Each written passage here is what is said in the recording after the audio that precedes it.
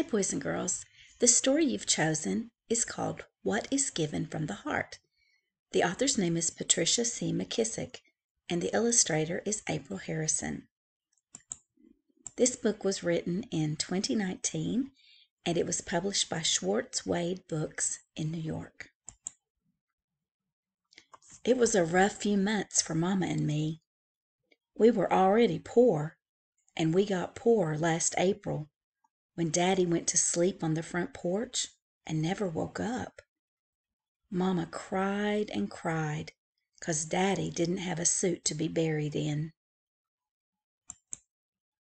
Come June, we lost the farm and moved to a run-down shotgun house in the Bottoms. On Friday the 13th it rained frogs. Everything flooded, and Smitty, my dog, disappeared. Oh, misery loves company, Mamma said, shaking her head as she swept water out the back door. I hugged her up close the way I always did when she was sad or I was scared. Long as we have our health and strength, we are blessed, James Otis, Mamma said, trying to sound brave. But things didn't get any better. We got an early snowfall in November, and Christmas was skimpy, but we made it through to the new year for I realized February was upon us, with Valentine's Day just two weeks away. One Sunday, Reverend Dennis made an announcement during services. Just as we always do, we'll be delivering love boxes to needy folk in our community, he said. Irene Temple and her little girl have lost everything in a fire. We must add them to our list. Next week, bring whatever you think might be useful to them. Remember, what is given from the heart reaches the heart. James Otis, we need to help out, Mama said on the cold walk home.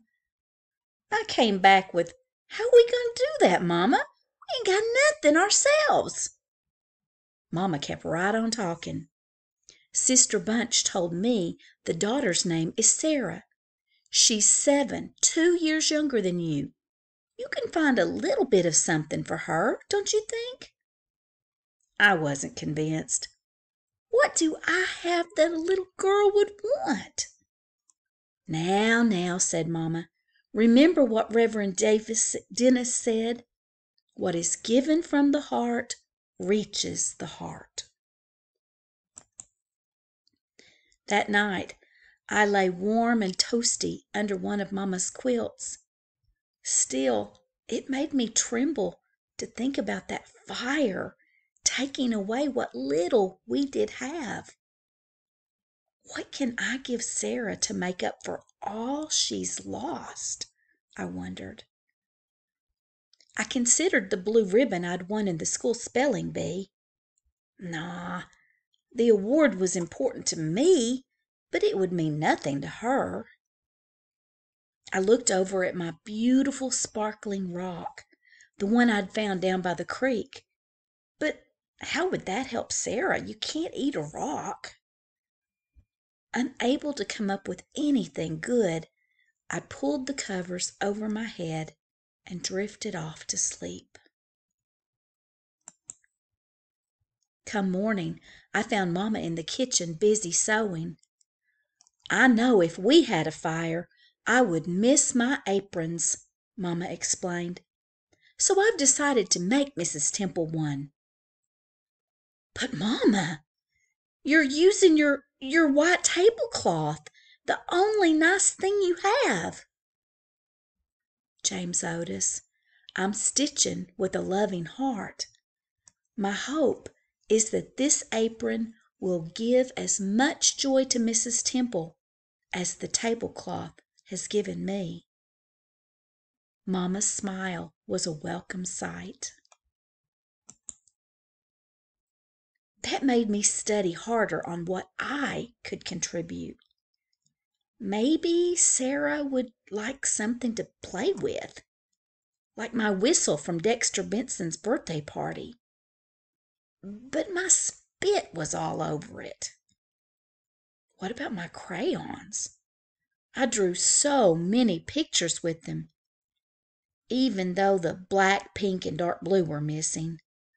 No way. I couldn't give her my old used crayons. And I couldn't give her my pencil that was just a nub, not much eraser left either. Hmm. As time flew towards Valentine's Day, I fretted more and more.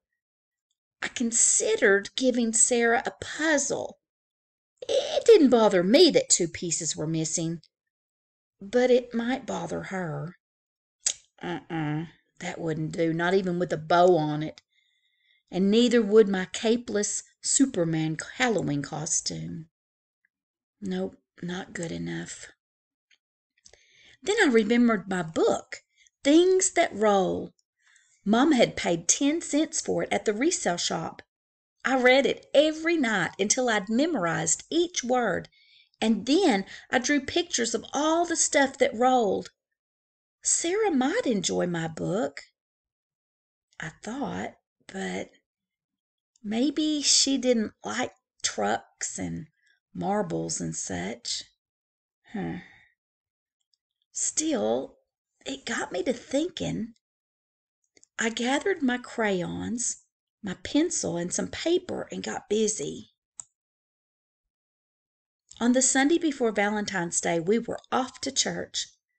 Along the way, Mamma told me, as usual, the trustees will deliver the love boxes to the homes of the needy. But Reverend Dennis has invited the Temples to receive theirs at Olive Chapel so they can meet the congregation. The church was full. Mamma beamed as she carefully placed the apron in the box. When we presented the Temples with their love box, filled with all kinds of clothing and food, tools and toys. Mrs. Temple was overcome with emotion. The congregation shouted, Amen. Even so, Sarah seemed sad and afraid. She clung to her mamma's arm and hid her face. I walked over to where they were standing. "Hi, Sarah," I said, sounding cheery like. "My name is James Otis, and I'm pleased to meet you." "Same to you," she answered, looking at her feet. "Here," I said, handing her my gift. "I wrote it, drew the pictures, and, and put it together by myself, just for you. Sarah managed a smile as she stared at the book I'd made. Then real slow like she read the cover. From my heart to your heart by James Otis Petway. It's about a little girl named Sarah, and don't tell me she said, I, I want to read about myself by myself. I can't believe it. Oh, she squealed.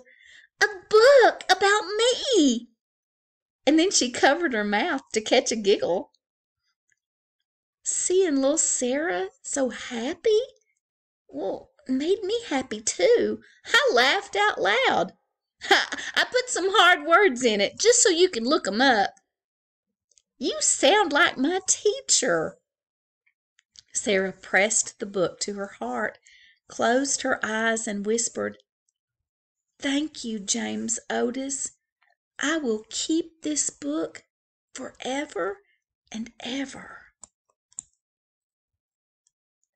Walking home, Mamma held my hand. The Temples looked very grateful, she said. I think we reached their hearts, I said.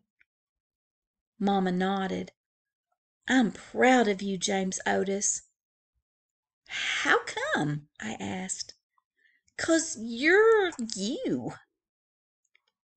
In winter night comes early. The sky was darkening, and it had started to snow. I stuck my tongue out to catch a snowflake, as mamma spun joyfully round and round. Suddenly mamma stopped. "Look! There's something on our porch," she said. I rushed ahead, and there it was. A love box had been delivered to us. And our hearts rejoiced. Oh, our hearts rejoiced. The end. Hope you enjoyed that story. Pick another one if you want to. Bye bye.